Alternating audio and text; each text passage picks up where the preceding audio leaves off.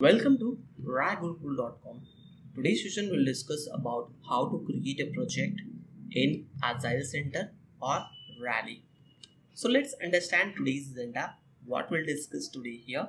So what is project? We'll cover it here. How to create a project in Agile Central with practical demo, complete project configuration, and how to delete any specific project which is created by mistake.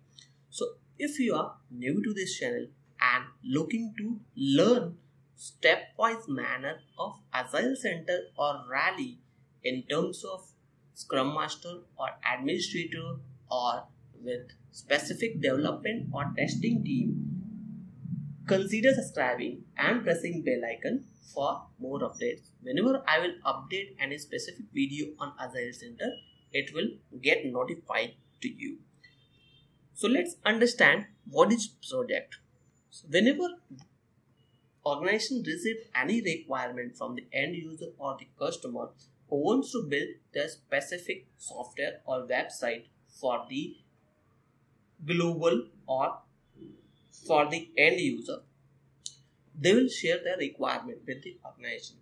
Based on their requirements, organization will start working on that and create a software for them or website for them.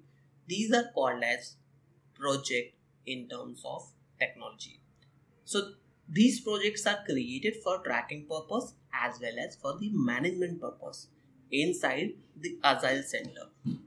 So when we will when we want to create a project inside the Agile Central, we just have to do the login and once we are successfully logged in inside the Rally or Agile Central, click on Workspace or Project. I've already created one session on Workspace. I will also mention the URL in description tab so that it will be easy for you to directly refer it if you want to learn what is Workspace. So once we enter inside the workspace, you're able to see several options are available inside the workspace. If you want to create any specific project, click on this. It will open a new window for you where you have to enter all the details or mandatory details required for creating any specific project inside the Agile Central. Now you can see we have to provide the name of the project demo project will use throughout the session this project for configuration.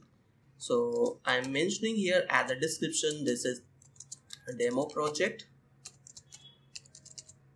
You can also do the formatting like a uh, uh, bold italic something like that or underline or you can add bullets. But you have you need to provide the complete description of the project. State is open because right now we are creating we are going to use it.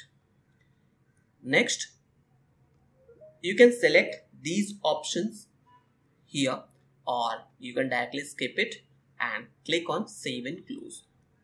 Once you click on save and close this project is created for you. If you want to go inside that project you will find out different options inside this. We can create children iterations releases users, field or revisions. So if you click on the exit page and refresh this page, you're able to see this project is listed under this.